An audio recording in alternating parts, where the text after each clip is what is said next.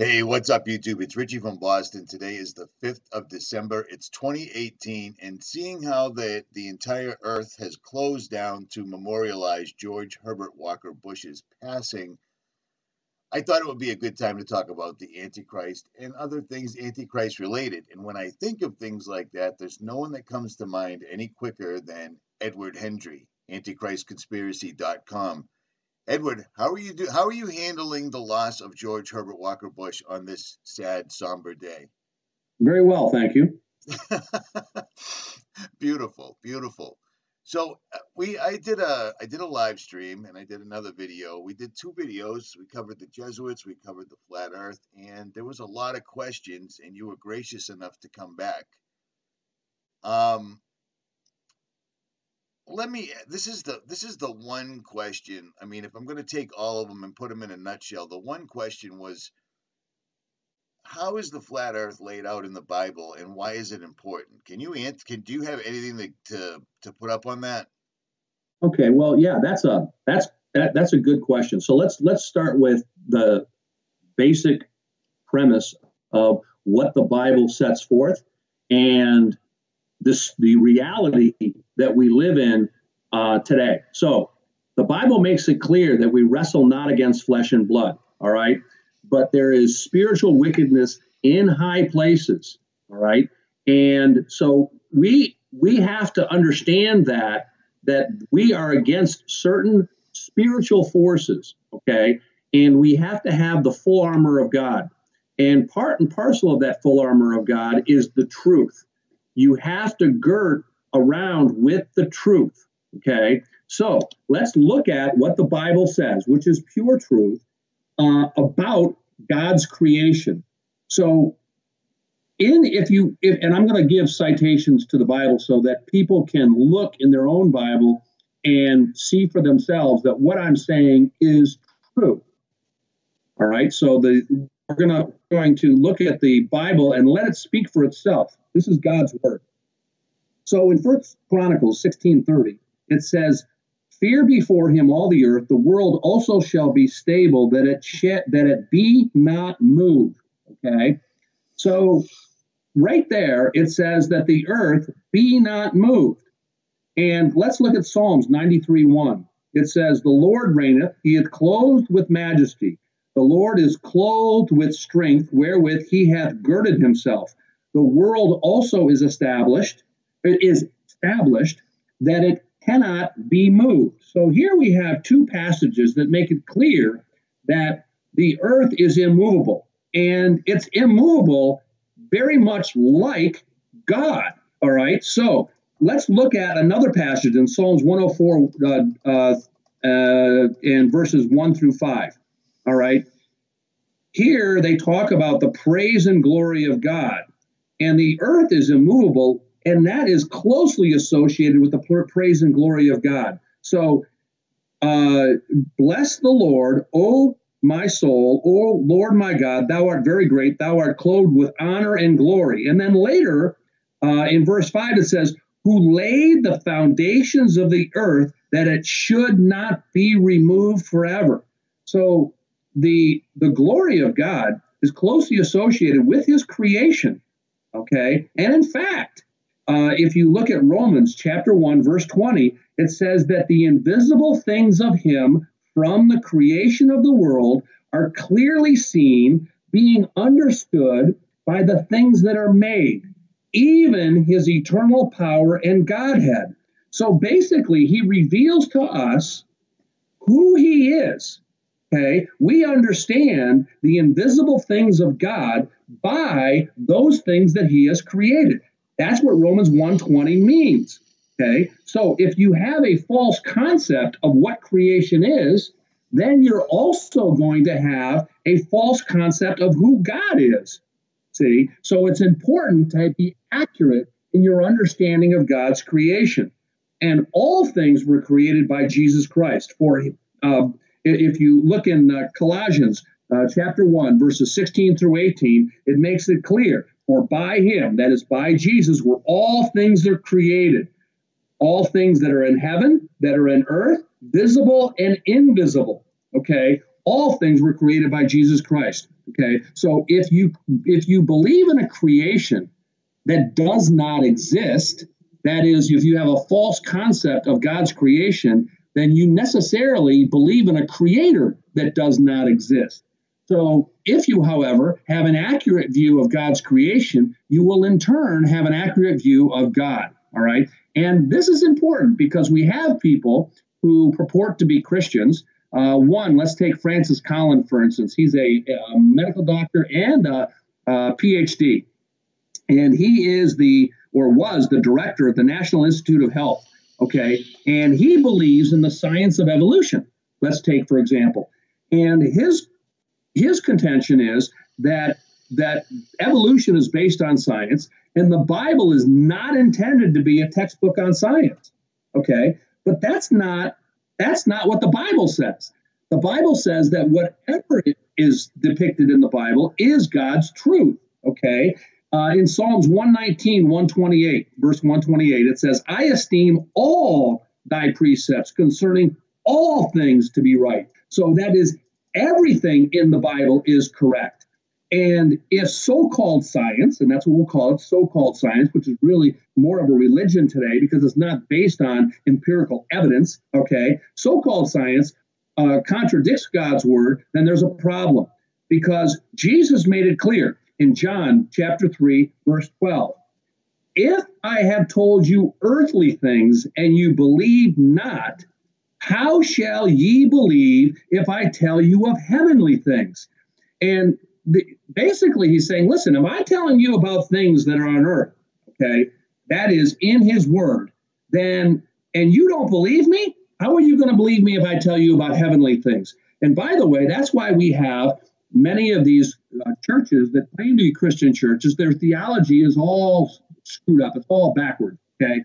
And I, that, that's a that's a discussion for another day because they have a skewed view of God's creation and therefore a skewed view of who God really is. All right, uh, his his character, his nature.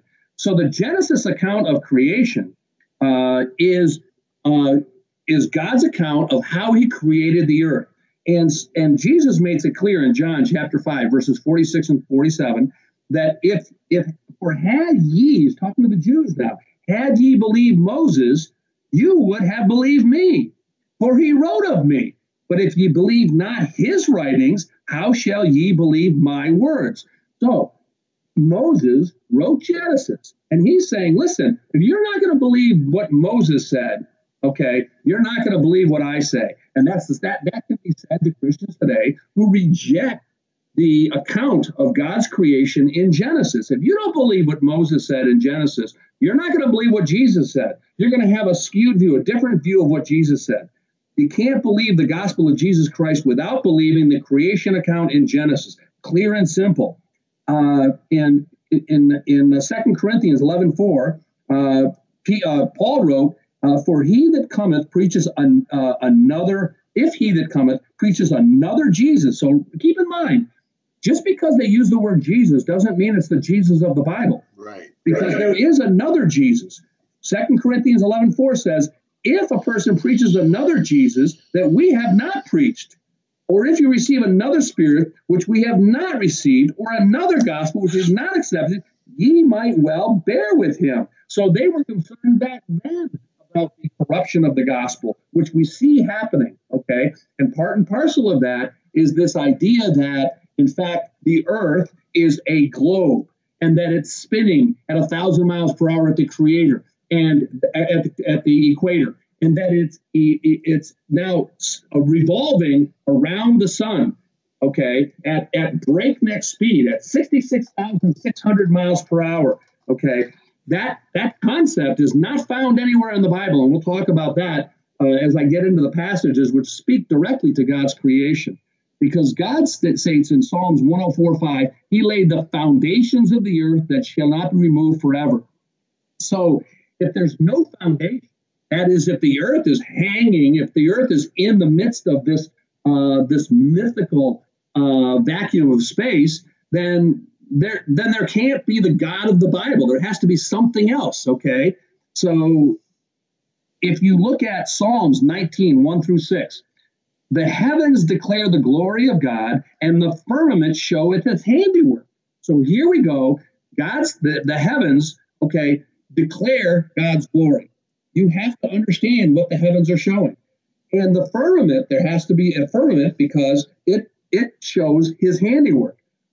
And in that passage, it talks about the um, day unto day, it uttereth speech, night after night, it showeth knowledge.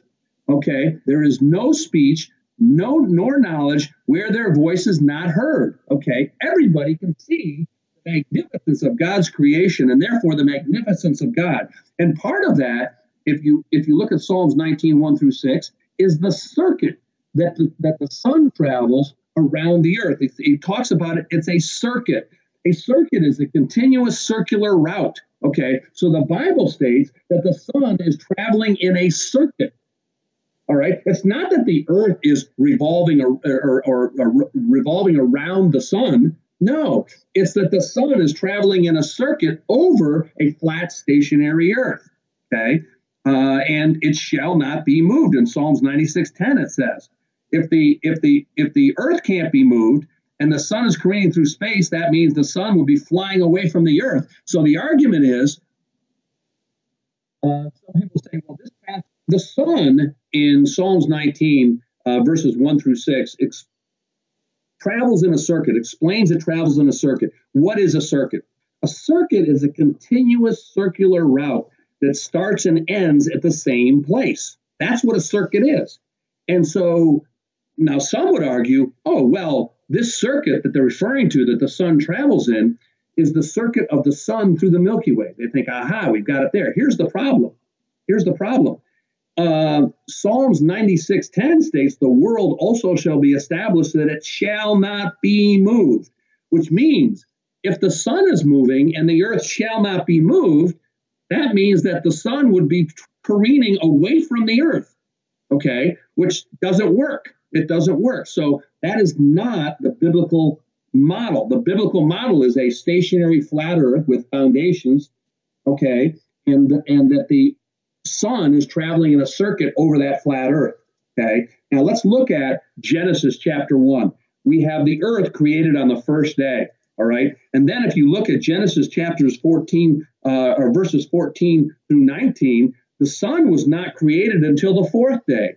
So, how can you have the earth be a globe created on the first day, and yet the sun that it's supposed to be uh, revolving around is not created until the fourth day? What's the earth doing in the meantime? How is there day and night without the sun that that it's supposed to be spinning around. See, it makes no sense. And the sun and moon are both lights. So what we have, if you look at uh, Genesis 1, chapter 14 through 16, God says that let there be lights in the firmament of heaven to divide the day from the night. Okay, so we have lights. There's two great lights the greater light to rule the day, and the lesser light to rule the night. So we have the greater light, the sun, ruling the day, and we have the lesser light, the moon, okay, ruling the night. Now, they were not created until the fourth day. There was day and night before the sun and moon were created. So, how do you have day and night before the sun and moon are created when they're supposed to be the, the sun is supposed to be the light of the day and the moon is supposed to be the lesser light at night? How is that possible? Well, if you are out um, before dawn, okay, that is before the sun actually comes above the horizon, you will notice that before the sun actually uh, comes above the horizon, there is light in the sky. Yes, there is. And if you look under parked cars, you will see that that light does not cast a long shadow as would as you would expect from the sun coming up over the horizon. But the shadow is straight down and in fact, it's only under parked cars that you see a shadow, or only under under overhangs that are close to the ground. Otherwise, you see no shadows. And in fact, in Hollywood, they use that time. That's their they call that their magical hour. That they like to do a lot of outdoor filming because there are no shadows. See? And the reason is because the light is coming straight down from the sky. That is, there is a second source of light. And I illustrate that in my book. So uh, in my book, The Greatest Lie on Earth, I go through and explain, and I have photographs showing this. And in fact, even after the sun comes up, and now it's casting long shadows, and I have seen this, and you can see this as well. Uh, many times you'll see houses will have long shadows going across the street. Well, those shadows will cover, let's say, a car that's parked in front of that house. You will see a shadow within a shadow. So you'll have the shadow of the house over the car, and then underneath the car, you will see another shadow. And that's there, there are two sources of light. You have the light from the sun, and then you have the light from the sky, which is the light that God had when he had night and day. So the uh, the sun is a greater light that rules the day, but it's not the only light. The Bible makes it clear that there was day and night for four days before God created the sun. And you can see the evidence of that by looking around, by observing. Well, that's and I have, by the way, I want to give credit to I want to give credit real quick to Rory Cooper for uh, for making that point, and I I um, uh, he he does an excellent job. Uh, he has my perspective uh, YouTube channel. He's got a lot of good stuff. Yeah, I just want to give credit to Rory Cooper because it was a video I, I watched uh, that he did that showed the different uh, different lighting that you would have if there was not a second source of light coming from above. So I uh, you should look at Rory Cooper's work on that. It's fantastic. Uh, now the, the the book of Genesis, uh, and he has a website or a, a YouTube channel called My Perspective. Uh, and his uh, some of his older videos are still up and, and on YouTube as well. Uh, but he's he does an excellent job. Now, uh, let's look at the idea of what is the sun and uh, the sun and moon. They're both lights. Okay, so there were two lights. All right, one to be the greater light, the, the other to be the lesser light. Okay, and they are actually lights. So the moon is not reflecting the sun, uh, the light of the sun. The moon has its own light. And that can be demonstrated uh, by taking the a, a, thermometer. You can use an infrared thermometer, uh, and they're they're like fifty bucks. You can and they're great. You can you can point them at an area, and it'll tell you what the temperature of what it is that you're pointing at. Uh, you can buy them on Amazon, uh, hardware stores. They're fantastic. And so, if you take the temperature of an item.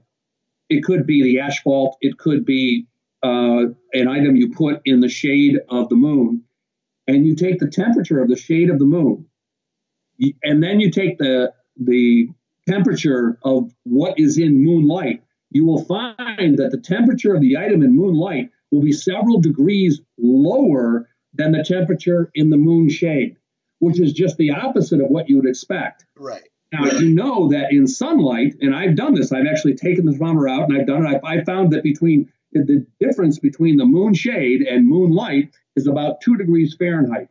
So the temperature in the moon shade was actually two degrees to six degrees uh, Fahrenheit uh, greater in moon shade than it was in moonlight. It, it's a cold light, which we know that that cannot be reflecting the light of the sun because, and again, having to make sure about this because we know that sunlight is hot, it's warm, and you want to get in the shade to get out of the heat.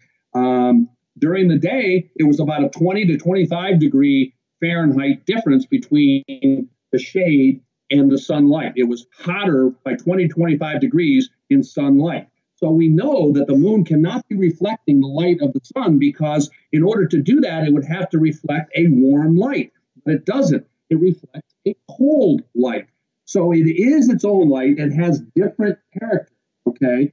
And well, here's one for you. Here's one. I don't know if you saw this. I'm standing exactly at sea level, and the moon is just coming up over the edge of the Atlantic, and the moon is 100% full, and it's bright, bright orange.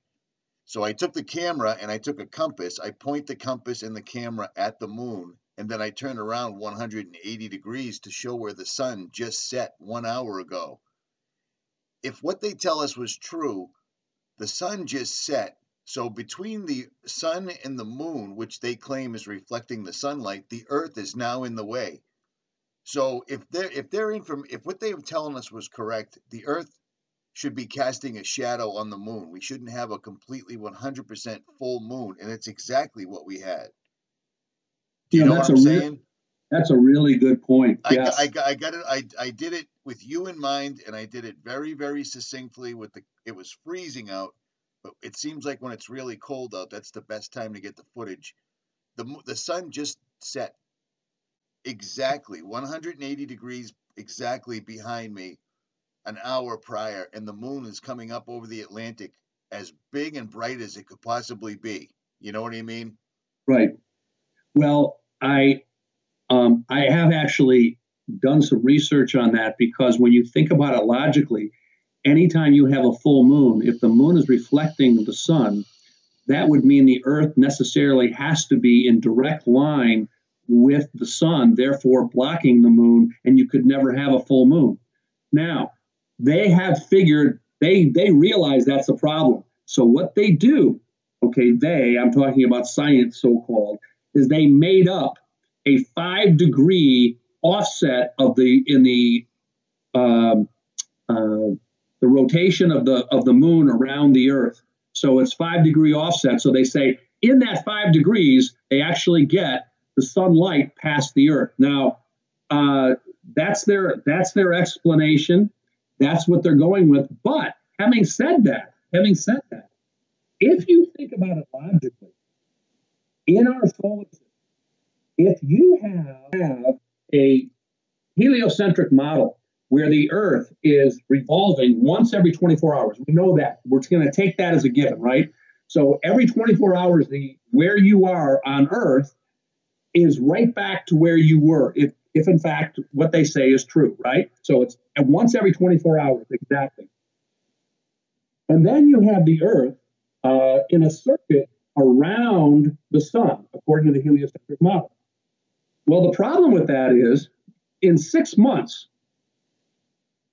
in where you're facing at high noon will be midnight six months later if you can envision that. Yes, I laid this that, out. That really that really screws up all their all their models. It really it does. does. That's a great. It does, but nobody nobody discusses this. Okay, I lay it out in my book. I've got a chapter where I illustrate. You can see the illustration, and I have the authorities uh, where I establish that in fact under the heliocentric model, it's basically impossible.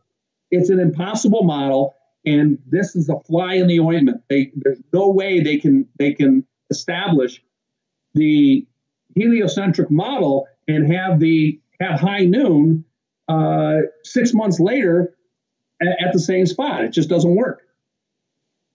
Yeah, that's that's that's brilliant. There's, there's some guys at NASA right now cursing your name because of that because they're trying to figure out a formula to to kind of bull stuff their way around that. You know what I mean?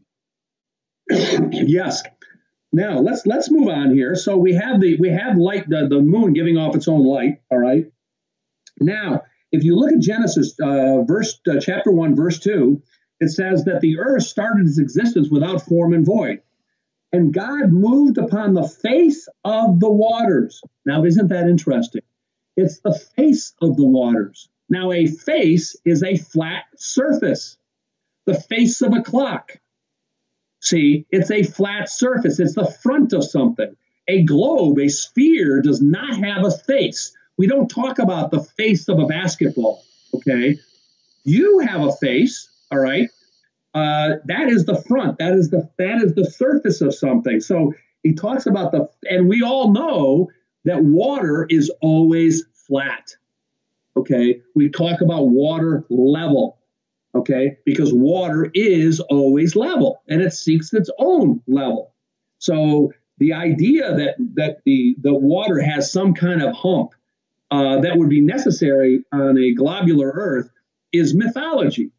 We know it's flat. Okay. Now, um, in Isaiah 44 24, okay, he says, He spread out things that you, uh, he, he said, He stretches forth the heavens that spreadeth abroad the earth by myself. So he stretches out the heavens, he spreads abroad the earth. Well, you spread something that's flat. You stretch the heavens about uh, over something that's flat. Okay, so a bedspread is flat. You talk about spreading something out, that's flat. Okay, now and with regard to the firmament, he said, Let there be a firmament in the midst of the waters and let it divide the waters from the waters.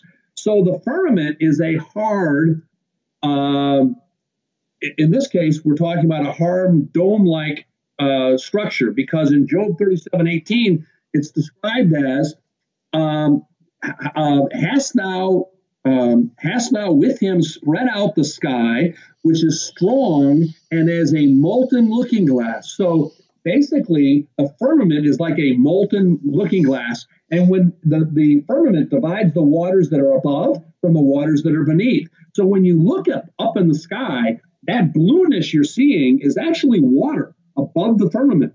Okay. And when God flooded the earth in the Genesis flood, uh, in, it talks about in Genesis chapter 7, verse 11, that he opened the windows of heaven. See, so that's the, the some of the waters came from the from the windows of heaven. Okay. Yep. Now, now interesting. If you look in Psalms 136, 6, okay, it, it said it says, To him that stretcheth out the earth above the waters, for his mercy endureth forever. Now think about that. He stretched the earth out above the waters. Well, you're thinking to yourself, well, wait a minute. The earth is not above the waters because we know that the, the earth is above, you know, uh, uh, th- that the oceans are, are separate from the earth, right? What we call earth. What does that mean? Well, guess what? Science knows this, but they won't tell you. And you can do your own research. Uh, they have discovered that beneath the ocean, they have found hypersaline um, pools. That's right. That are so dense, that are so dense that um, one person was in a, uh, a sub, uh, one of those submarines, uh, exploratory submarines, and they went to go in it. It was like a lake underneath the ocean. It actually, you could see the lapping of the hypersaline uh, it's upon the waters, the super saline solution. Those are the foundations of the earth. Right. And that was those are the guys that were filming for the Blue Planet, and they went under. They were under the water, and they came across a lake when they were. I mean, they were in the. They were really, really deep under the ocean, and they filmed it. There's a lake. You can see the waves lapping the surface. I mean, there's a yep. lake under the ocean. Wrap your yep. mind around that. You know, this is crazy stuff. And you'd think that this would be front page news, and it isn't. No, no. And, you know, um, it, if you look, if you do research, you'll find that there are other pools under the ocean that they have discovered, but you really have to dig to find it. Um, yeah, they're not they're not making it easy anymore. In the last couple of years, the Google searches, all this stuff, you you have to really really be specific when you search for stuff because they're simply cover they're rewriting history basically using the computers to do so. Yes. Yeah they scrub and uh, that guy he suffered a mysterious death and i don't know what the circumstances were some years later. Uh, the guy who explained and I, I don't know if, if there was anything nefarious about that or not but some people have alleged all right, but now which, uh, which guy on, are you talking about, Edward? The, the guy, guy, who narrated that, the guy who narrated that and explained what he saw. Oh, oh, yeah, yeah, yeah. he, was a, he was a, he was a young guy. I can't remember his name. I can't either. But he's since deceased. But anyway, uh, you know, if you, if you look through the Bible, it talks about the, the circle of the earth in Isaiah 40, 22. Uh, it is he that sitteth upon the circle of the earth. Okay. Now, a circle is a two dimensional scribe. In fact, God makes it clear that He encircled the seas with a boundary. Okay. That He encompassed the seas with a boundary. In Proverbs uh, 8:27, I was there when He set a compass upon the face of the depth. That's wisdom talking. Okay. That's God, essentially. When He set the compass upon the face of the depth. So, He, uh, hold on just a second and it says, I was there when he set a compass upon the face of the depth. So a compass is a, uh, a circular boundary. Okay, it can also be a measuring instrument, but it's a circular boundary. It has many, many definitions. So uh, that that circular boundary is what we see in the flat Earth with Antarctica around the outside. Okay, and notice that he says it's the face of the depth. Okay, so he set a compass upon the face of the depth again, indicating a flat surface facing up. Okay, and he said, "Heaven is my throne, and the earth is my footstool." Well, having a ball floating around in in uh, in space doesn't sound like much of a footstool. And, right. and when you look at the just to go back upon the the the terminology circuit, when you look at the the the model that they give people that it's commonly accepted that the you know the Earth's going thousand spinning a thousand miles an hour, sixty six thousand miles around. That's no circuit. That's just a spiral that's spinning off into oblivion. It yeah. makes little to no sense, but people just don't think about it a circuit right. applies. Right. You know what I'm saying? It, I think you nailed that one, man.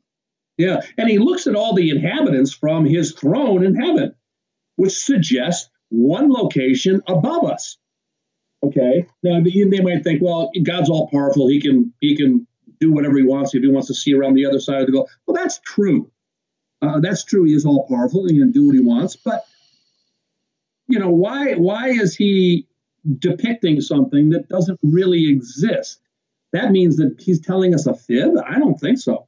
And also, that Satan is not all powerful. So when when the devil tempted Jesus and he wanted to show him all the kingdoms of the, of the earth, he took him to a high mountain. Well, no matter how high the mountain is, if all the kingdoms of the earth are on a globe, he wouldn't be able to see around the backside of the globe. Absolutely. Absolutely. You know? That's a that's a great one right there. Yeah. And another thing, when when Jesus returns, everyone will see him in the sky.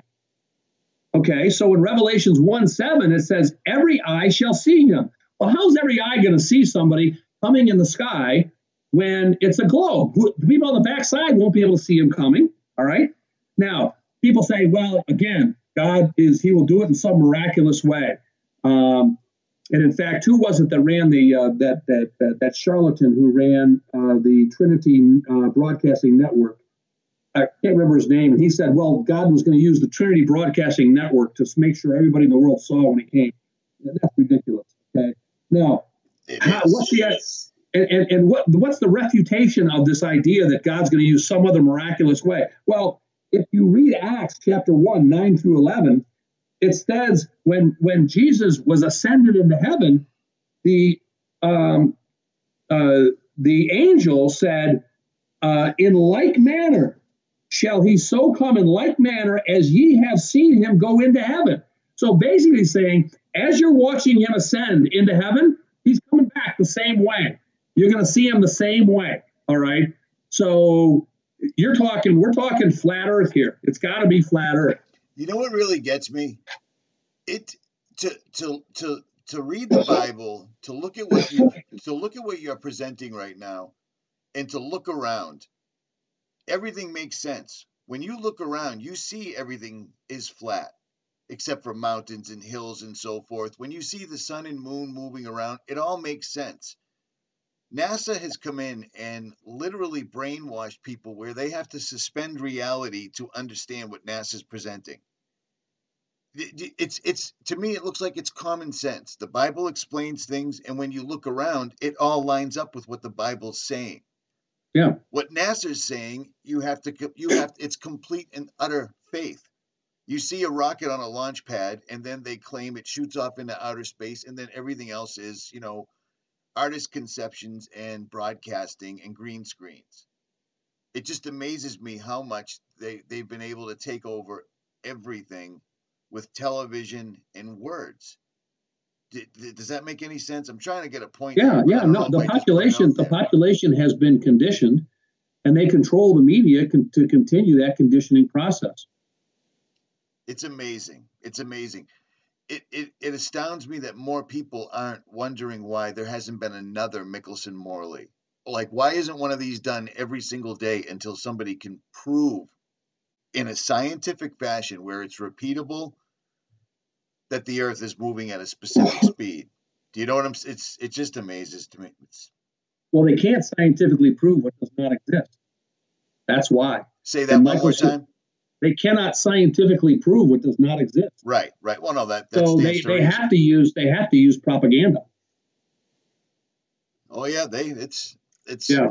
Michelson Morley, the Michelson Morley experience uh, experiment established proof beyond any doubt that the Earth is stationary and it does not move.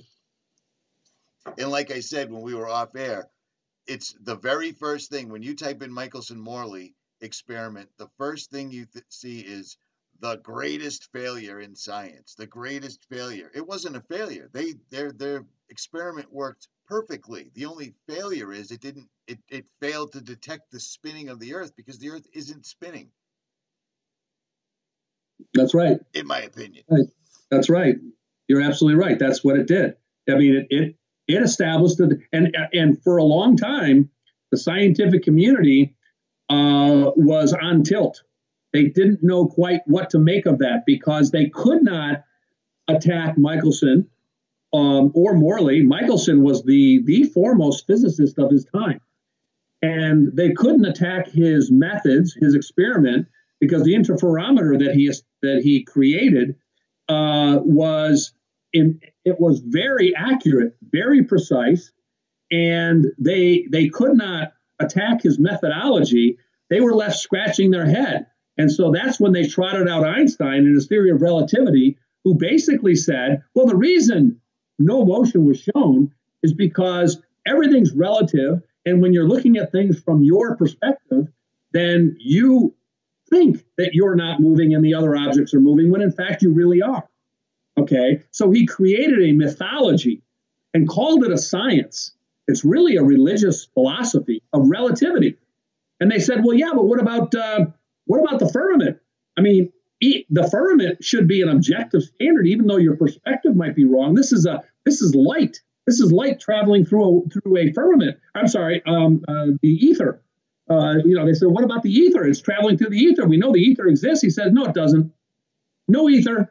Okay, so he just said that there's no ether, and from then on, people have accepted the fact there's no ether, even though ether has been a, a proven. It's a proven fact. So the theory of relativity is completely impeached, but yet they still teach it in schools as though it's a scientific fact when it's really a religious philosophy that's clothed in scientific lingo.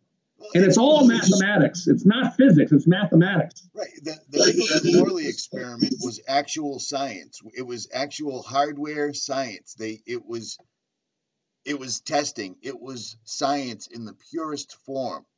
And then when they couldn't come up with an answer, they bring in a theory. And then that seems to I mean it's it's funny because now black is white and white is black, basically. Yeah. Yeah. It's well, here's a here's a test that we can't refute, so let's just bury it and bring a theory up. So when you fall down, you're not actually falling down. The earth is coming up and hitting you. Yeah, yeah, it's it's equally it's equally likely. There's no scientific way. They say this is what they say. There's no scientific way to determine whether you fell to the ground or the ground came up and hit you in the nose. Is that idiotic or it's what? It's ridiculous. It's laughable, yeah. and yet this is what's and it's it's ending up in the science books in schools. This is what they're teaching them.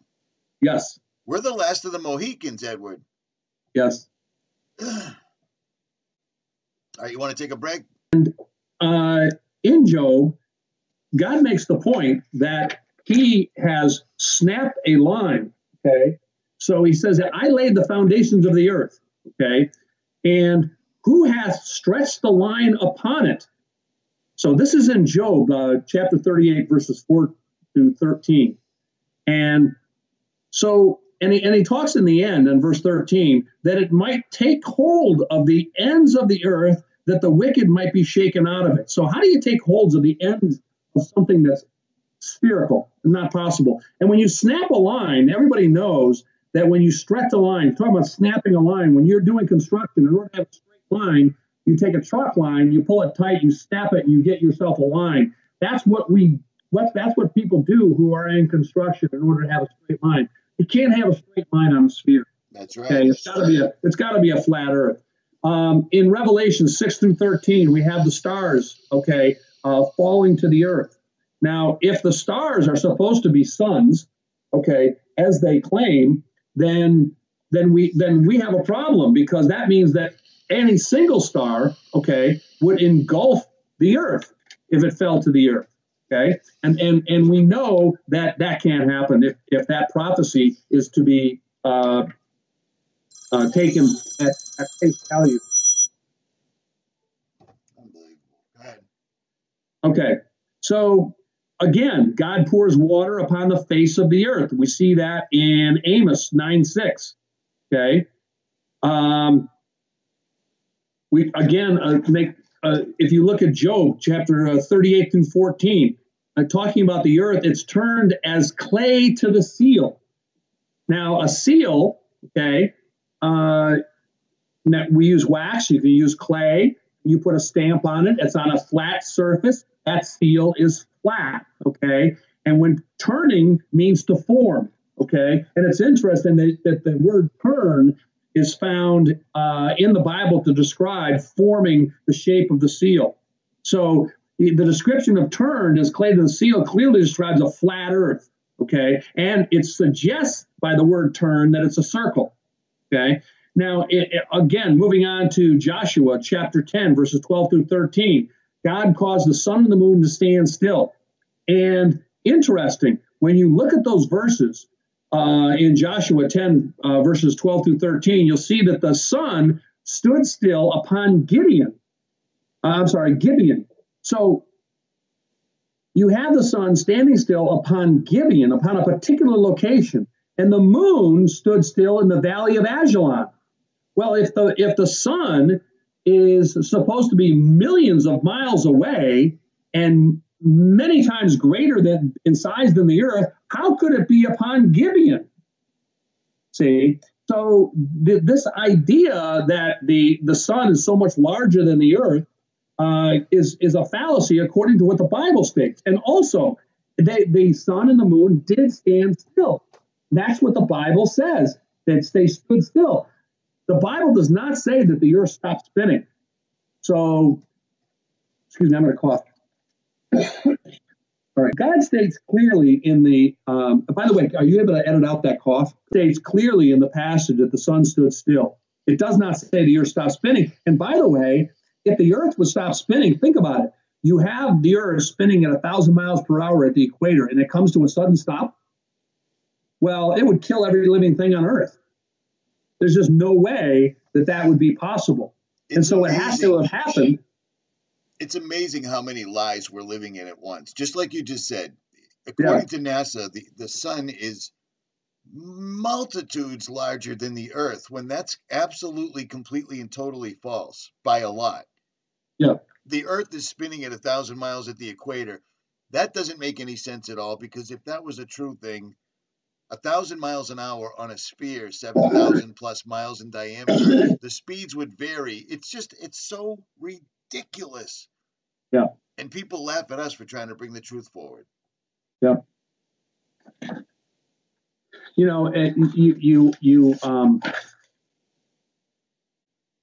you have this guy, uh, Michael Hoggard, who he has, um, he's gone on and, and he, he thinks that it's now his mission to establish that the we live in a heliocentric system according to the Bible.